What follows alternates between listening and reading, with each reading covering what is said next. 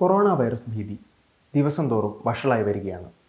വിദേശത്തെങ്ങോ മാത്രമുള്ള നമ്മുടെ നാട്ടിലൊന്നും കണ്ടുവരാത്ത ഒരു പ്രത്യേക വൈറസാണ് ഇത് എന്നാണ് ഭൂരിഭാഗം പേരും ധരിച്ചിരിക്കുന്നത്. എന്നാൽ വളരെ സാധാരണമായി നമ്മുടെ നാട്ടിൽ ജലദോഷപ്പനിക്ക് കാരണമാകുന്ന വൈറസാണ് കൊറോണ. മനുഷ്യരിൽ മാത്രമല്ല ഉഷ്ണരക്തമുള്ള ജീവികളായ സസ്തനികളെയും പക്ഷികളെയും ബാധിക്കുന്ന ഒരു കൂട്ടം വൈറസുകളാണ് ഇവ. ഇലക്ട്രോൺ മൈക്രോസ്കോപ്പിലൂടെ നോക്കിയാൽ വൈറസിന് ചുറ്റും പ്രകാശ വലയം പോലെ ഒന്ന് കാണുന്നത് കൊണ്ടാണ് ഇതിന് കൊറോണ വൈറസ് എന്ന പേര് കിട്ടിയത്. ശ്വാസകോശ സംബന്ധമായതും ദഹന സംബന്ധമായതുമായ പ്രശ്നങ്ങളാണ് പ്രധാനമായും ഇവ ഉണ്ടാക്കുക. ഏതാണ്ട് പതിനായിരം കൊല്ലങ്ങളായി ഇവ ഭൂമിയിലുണ്ടായിട്ട്. കാലാകാലങ്ങളായി ഇവയ്ക്ക് പലതരത്തിലുള്ള പരിണാമവും സംഭവിച്ചിട്ടുണ്ട്. ഇത്തരം വ്യതിയാനങ്ങൾ പുതിയ ശേഷിയുള്ള വൈറസുകളെ സൃഷ്ടിക്കുന്നു. അങ്ങനെ ഉണ്ടായ രോഗങ്ങളായ സാർസിനെയും മെർസിനെയും കുറിച്ച് നിങ്ങൾ കേട്ടിട്ടുണ്ടാകും സാർസ് രോഗം ബാധിച്ചവരിൽ പത്ത് ശതമാനവും മെർസിൽ മുപ്പത് ശതമാനവുമാണ് മരണനിരക്കെങ്കിൽ ഇപ്പോൾ ചൈനയിൽ പ്രത്യക്ഷപ്പെട്ടിരിക്കുന്ന പുതിയ വൈറസിൽ ഇത് നാല് ശതമാനം മാത്രമാണ്.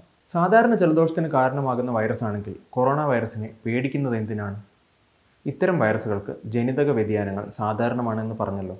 ഇത്തരം വ്യതിയാനങ്ങൾ ഈ വൈറസുകളെ കൂടുതൽ അപകടകാരികളാക്കി മാറ്റാം. അതാണ് ഈ വർഷം ചൈനയിൽ സംഭവിച്ചത്. ചൈനയിലെ തുറമുഖ നഗരമായ വുഹാനിൽ അസാധാരണമായി കുറേ ന്യൂമോണിയ കേസുകൾ റിപ്പോർട്ട് ചെയ്യപ്പെട്ടു.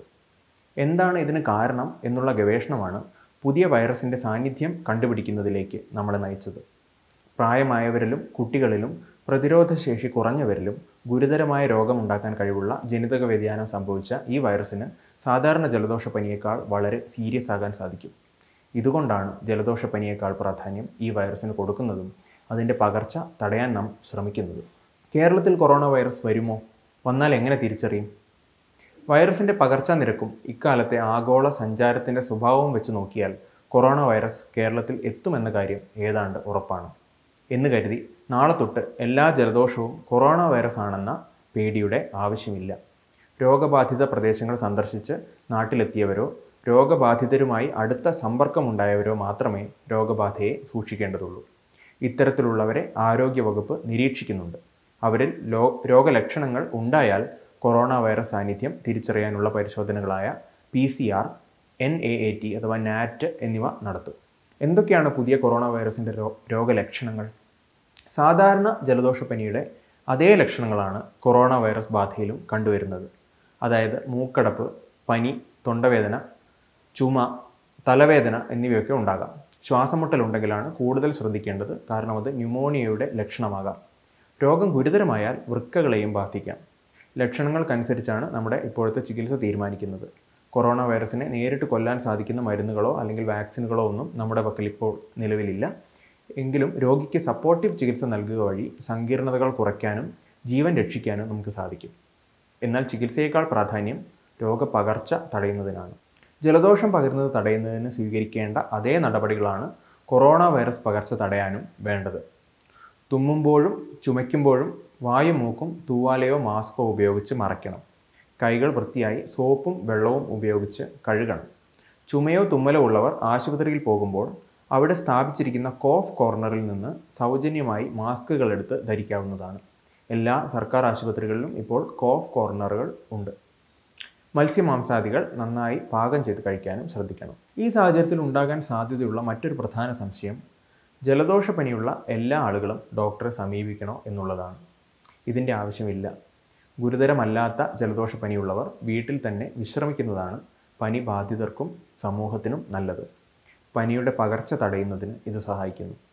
വീട്ടിലൊരു ഒഴിഞ്ഞ മുറിയിൽ മറ്റുള്ളവരുമായുള്ള സമ്പർക്കം പരമാവധി ഒഴിവാക്കി വിശ്രമിക്കുകയാണ് ഏറ്റവും നല്ലത്. നന്നായി വെള്ളം കുടിക്കുകയും എളുപ്പം ദഹിക്കുന്ന ഭക്ഷണം കഴിക്കുകയും വ്യക്തി ശുചിത്വം പാലിക്കുകയും വേണം. തൊണ്ടവേദന കുറയ്ക്കുന്നതിന് ഉപ്പുവെള്ളം കവിൾ കൊള്ളാം. ഇന്ത്യയിൽ ഡോക്ടറുടെ കുറിപ്പടിയില്ലാതെ ലഭ്യമായ മരുന്നാണ് പാരസെറ്റമോൾ. ഇവ ഒന്നോ രണ്ടോ കഴിക്കുന്നതിൽ യാതൊരു തെറ്റുമില്ല. സാധാരണ ജലദോഷപ്പനിക്ക് ഇതിലും വലിയ ചികിത്സയുടെ ആവശ്യവുമില്ല. എന്നാൽ ചില അപകട ലക്ഷണങ്ങളുണ്ടെങ്കിൽ നിർബന്ധമായും ഡോക്ടറെ കാണണം. വീട്ടിൽ വിശ്രമിച്ചിട്ടും മൂന്നാഴ്ചയിൽ കൂടുതൽ നീണ്ടു നിൽക്കുന്ന ജലദോഷം വിറയലോട് കൂടിയ പനിയും ശരീരവേദനയും രോഗത്തിന്റെ വർദ്ധിച്ചു വരുന്ന കാഠിന്യം ശ്വാസം മുട്ടൽ നെഞ്ചുവേദന എന്നിവയൊക്കെ ഉണ്ടെങ്കിൽ ഡോക്ടറെ സമീപിക്കേണ്ടതാണ്. കൂടാതെ രോഗപ്രതിരോധ ശേഷിക്കുറവുള്ള ആളുകളും ദീർഘകാലമായി പ്രമേഹം ഹൃദ്രോഗം തുടങ്ങിയ രോഗങ്ങളുള്ള ആളുകളും പനിയുണ്ടെങ്കിൽ ഒരാശുപത്രിയിൽ പോയി ചികിത്സ തേടുന്നതാണ് സുരക്ഷിതം. നിപ്പ പോലെ ഒരു ഭീഷണിയാകുമോ കൊറോണ? രോഗം ബാധിച്ചാൽ മരണപ്പെടാനുള്ള സാധ്യത വളരെ അധികമാണ് എന്നതായിരുന്നു നിപ്പയെ സംബന്ധിച്ചിടത്തോളം നമ്മളെ പേടിപ്പെടുത്തുന്ന വസ്തുത. എന്നാൽ ഇത്തരത്തിലുള്ള ഒരു രോഗമല്ല കൊറോണ. വളരെ എളുപ്പത്തിൽ പകരുന്ന രോഗമാണെങ്കിലും മരണനിരക്ക് കുറവാണ് കൊറോണയ്ക്ക്.